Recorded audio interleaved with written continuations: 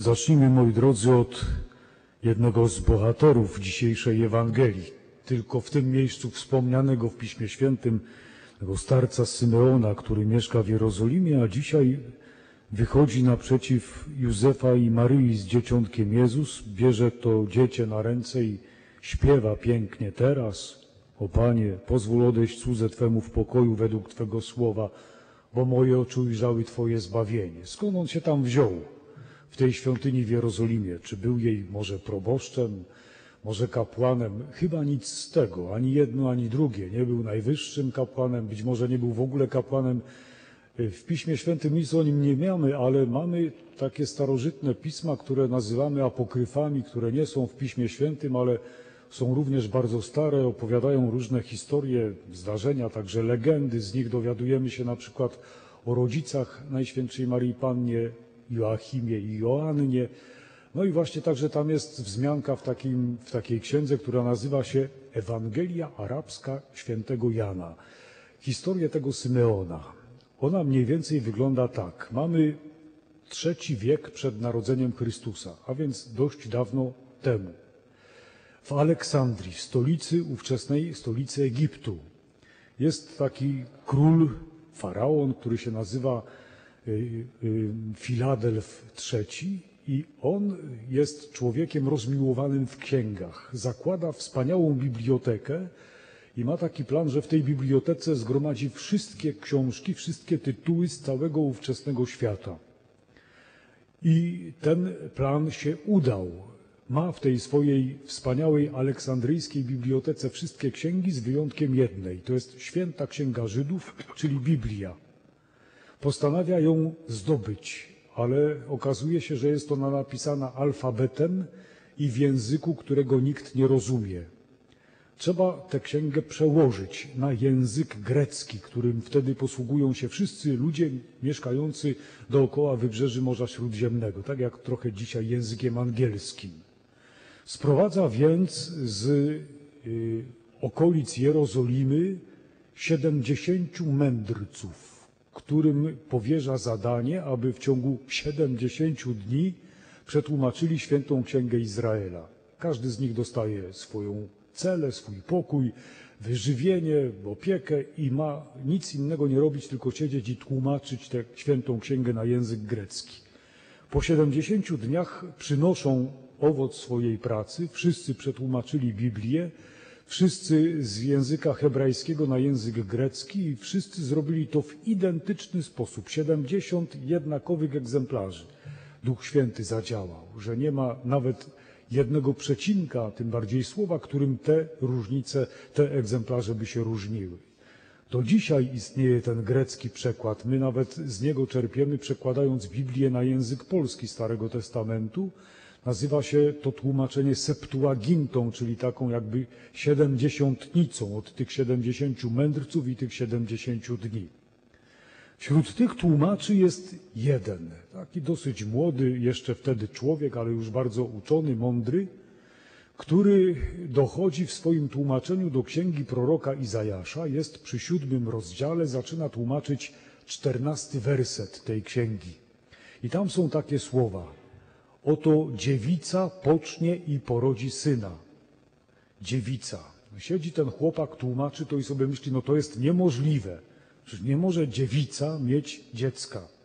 To musi być mężatka, to musi być kobieta, która ma męża i która zna pożycie z mężem. E, wezmę to poprawię.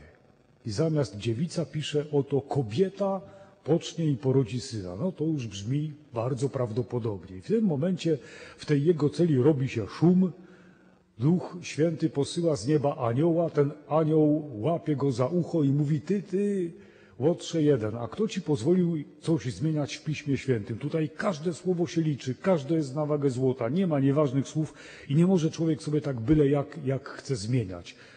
Masz to przetłumaczyć tak, jak jest napisane. No więc on tłumaczy, partenos po grecku, to jest dziewica. Dziewica pocznie i porodzi syna, ale w głowie mu się to nie mieści, jak to jest możliwe, i ten anioł mu mówi: Dobrze, kiedyś to zrozumiesz. Upływają lata, mija bardzo dużo czasu. Wszyscy poumierali, a on wciąż żyje. Ma już ponad 200 lat. wrócił do tej swojej Jerozolimy. Ledwo słyszy, ledwo widzi, ledwo powłóczy nogami, aż tu pewnego poranka coś tam w tym jego mieszkaniu, w tym jego domu znowu zawiało, tak jakby Duch Święty zadziałał, wróciła bystrość wzroku i wyczulenie uszu i władza w nogach, poderwał się i pobiegł do świątyni. Taka siła wewnętrzna go pchała. Stanął przy bramie Nikanora, tak się nazywało takie przejście, od takiej części, gdzie mogli być wszyscy mężczyźni i kobiety, do takiej części, gdzie był ołtarz i kapłani składali najświętszą ofiarę. Tam można sobie było stać przy tej bramie i zaglądać do środka, jak oni składają te ofiary. Dalej był przybytek, tak jak u nas tabernakulum w kościele, gdzie mieszkała chwała pańska, no ale nikt jej nie widział, bo ona była już za drzwiami za zasłoną, albo nawet dwiema zasłonami. I tam przy tej bramie Nikanora stanął sobie ten nasz bohater, patrzy, idzie kobieta, mężczyzna, niosą dziecko. Jakiś wewnętrzny głos, Duch Święty mówi mu, to jest właśnie to dziecko, to jest właśnie ta dziewica, to jest ta dziewica, która poczęła i porodziła syna. To jest to, w co ty nie mogłeś uwierzyć. I on sobie myśli, tyle lat czekałem, ponad 200 lat już żyję na tym świecie, czekając i wreszcie dzisiaj zrozumiałem. Bierze to dziecko i śpiewa tę piękną pieśń. No teraz, o Panie, pozwól odejść cudze Twemu w pokoju według słowa Twojego, bo moje oczy ujrzały Twoje zbawienie, które przygotowałeś wobec wszystkich narodów. Światło na oświecenie pogan i chwałę ludu Twego Izraela. Tyle mówi legenda o bohaterze tej dzisiejszej Ewangelii. A co o niej mówią fakty? Słyszeliśmy, że Maryja i Józef wypełniają prawo mojżeszowe. To prawo mówi, że wszystko to, co pierwsze się urodzi, należy do Pana Boga. Jest Jego własnością. Posadzisz na przykład figę, urodzi ci figi, takie drzewo figowe. Nie wolno ci ich zrywać, bo to jest pierworodny owoc, on należy do Pana Boga.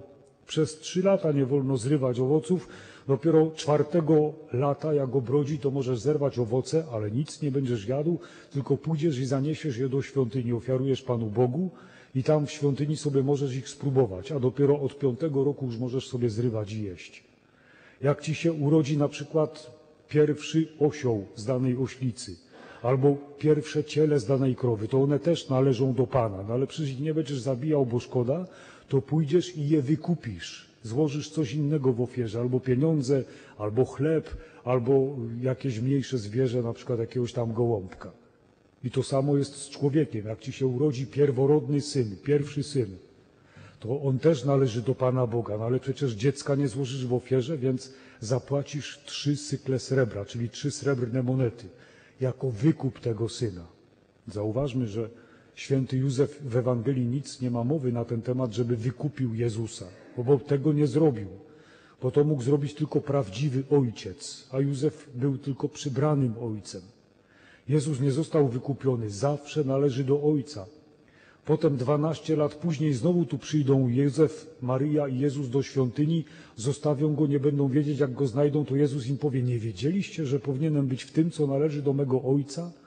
Między nim a Ojcem jest relacja własności. Na krzyżu Pan Jezus będzie wołał, Ojcze, w Twoje ręce oddaję ducha mojego. Jezus nie został wykupiony do końca, do krzyża, aż należał do Ojca. Nie zatrzymuj mnie, powie Marii Magdalenie po zmartwychwstaniu, bo jeszcze nie wstąpiłem do mego Ojca.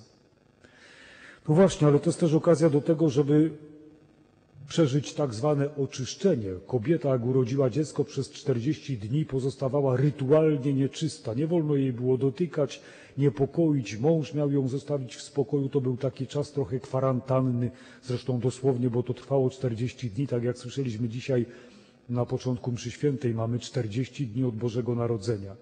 I wtedy kobieta przychodziła na to oczyszczenie swoje złożyć ofierze albo baranka, albo parę gołąbków czy synogarlic w świątyni i to właśnie też się dzisiaj dokonuje. Na koniec, moi drodzy, przyszliśmy dzisiaj do kościoła ze świecami. Zapalamy świece. Dlaczego to robimy? No właśnie dlatego, że po raz pierwszy dzisiaj ten starzec Symeon nazwał Jezusa światłem. Moje oczy ujrzały Twoje zbawienie, światło na oświecenie pogan i chwałę ludu Twego Izraela. To Pan Jezus jest tym światłem. On potem powie, jak już będzie dorosły, jak już będzie słowem nie tylko wcielonym, ale także wypowiedzianym, zacznie mówić, ja jestem światłością świata. Popatrzcie, Macie jeszcze niektórzy zapalone świece, widzę. Co to jest świeca? To jest ta kolumna z wosku, który zrobiła pszczoła. Pszczoły rozmnażają się, jak biolog by nam powiedział, przez partenogenezę, to znaczy pszczoły nie potrzebują samca. Są trutnie, ale niekoniecznie one są potrzebne, żeby pszczoły miały żywe jajeczka, żeby wylęgały się nowe. To dość skomplikowane, nie będę tego teraz tłumaczył. Jak ktoś hoduje pszczoły, to się na tym trochę zna.